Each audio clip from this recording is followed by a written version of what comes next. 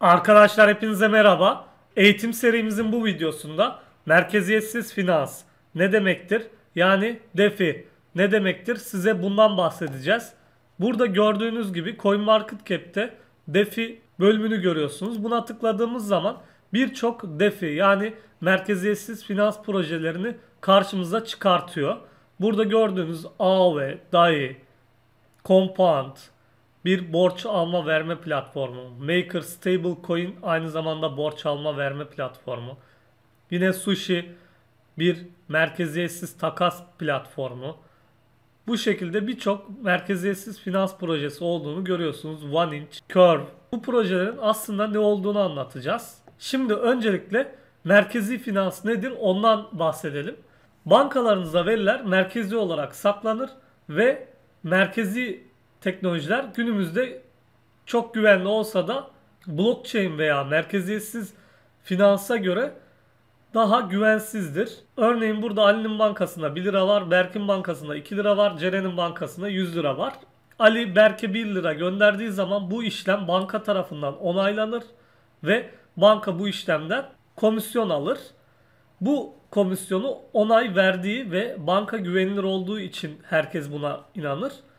Merkeziyetsizde ise blok zincir üzerinde akıllı sözleşmeler ile otomatik olarak yapılır ve bu işlemleri yapan minerlara blockchain ağındaki token ödül verilir. Bunlar da Ethereum veya işte hangi platformsa örneğin Curve veya Compound, Comp olarak ödüller verilir.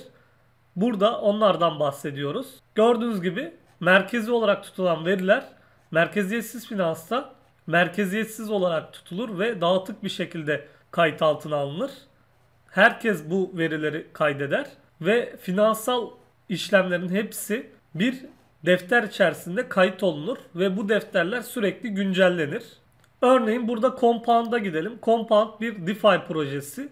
Burada gördüğünüz DeFi projesinin web sitesine buradan Compound Finance'a gidebiliriz. Gördüğünüz gibi Compound Finance'da burada borç alma verme platformu var. Burada borç vererek yine burada teminat yatırarak belirli otomatik Ethereum ağ üzerinde yapılan işlemler kayıt altına alınır ve doğrulanarak size ödül olarak gönderilir.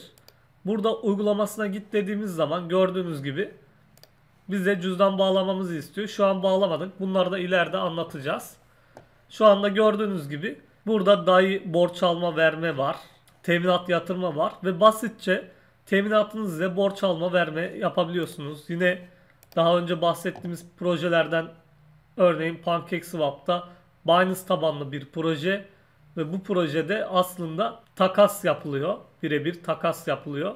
Yani hiç merkezi borsalarda ihtiyacımız yok. Şimdi bu Decentralized Finance'da yani DeFi'de olay ne ondan bahsedelim. Şimdi gördüğünüz gibi exchange yani borsa merkezi olarak CEX'ler BTC Türk, Paribu ve Binance olarak ayrılmakta. Merkeziyetsiz olarak ise DEX'ler birçok borsa bulunuyor. Bunlara Uniswap, Swipe, Swap, OneInch, Sushi Swap, Pancake, Burger, Pangolin, Serum, Radium ve benzeri birçok daha borsa gelir. Yine merkezi borsalara da birçok borsa gelebilir. Bunlar çoğaltılabilir. Bu DeFi'de birçok finansal işlem merkeziyetsiz olarak yapılabiliyor. Bu gördüğünüz aslında bir borsa merkeziyetsiz finansını anlatıyorum. Bunun üzerinde defiler bankalara uyarlanabilir. Sigorta fonlarına uyarlanabilir. Fon yönetimlerine uyarlanabilir. Bu sayede tüm fon yönetimleri veya sigortalar, sigorta doğrulama işlemleri merkeziyetsiz olarak daha doğru bir şekilde doğrulanır. Örneğin siz sigorta için bir yere para yatırıyorsunuz. Onlar doğruluyor. Ama gerçekten bir sigorta fonuna gidiyor mu? Bu işlemler blockchain sayesinde daha doğru yapılıyor. Şimdi buradaki gördüğünüz DeFi'de bir borsayı anlatıyoruz. Burada örneğin DeFi'de borsa nasıl çalışır? Normalde CEX'lerde, merkezilerde BTC Türkiye kayıt olursunuz. İşte siz orada birinden siz orada tahtada Bitcoin alırsınız ve sizin hanenize bir Bitcoin yazar. Bu şekilde diğer kullanıcıya ise TL yazar. Bu şekilde işler ve veriler merkezi kayıt olur. DEX'lerde ise olay tamamen şöyle oluyor. birçok kişi havuza fon sağlıyor. Örneğin 10 tane A tokunu ve 1 tane B tokunu koyuyor.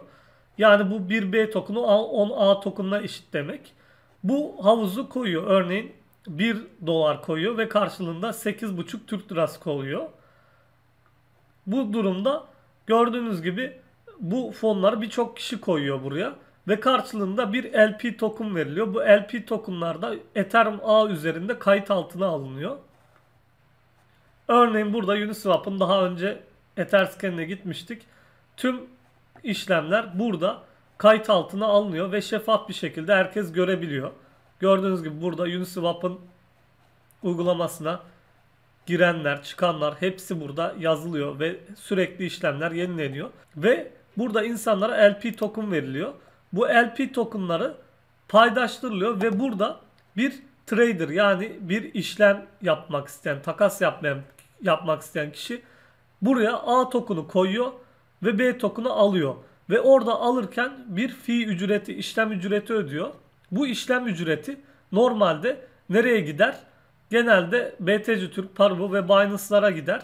Buradaki işlem ücreti aslında bu merkeziyetsiz finansta likitte sağlayanlara gidiyor. Bunlara da likitte provider deniliyor. Burada gördüğünüz gibi 4 LP token koyduğu için bu fi'nin toplam havuzda 12 tane LP token var. 12'de 4'ü bu, bu kişiye gidiyor. Ve buna da farm sistemi yani ödül sistemi deniliyor. Ve bunun karşılığında örneğin Uniswap üzerindeyse Unicoin alıyor. Swipe üzerindeyse SXP alıyor. OneInch üzerindeyse OneInch alıyor. Token olarak ödüllendiriliyor. Aynı zamanda da fi ücretleri bu likitte sağlayanlara gidiyor. Bunların kullanımı aşamalarını yine anlatacağız. Merkeziyetsiz finans bu şekilde anlatabiliriz. Ne dedik? Bankalarda, sigorta fonlarında, borsalarda, fon yönetimlerinde kullanılabilir. Bu videomuzun sonuna geldik. Hepinize teşekkür ediyorum. İyi günler.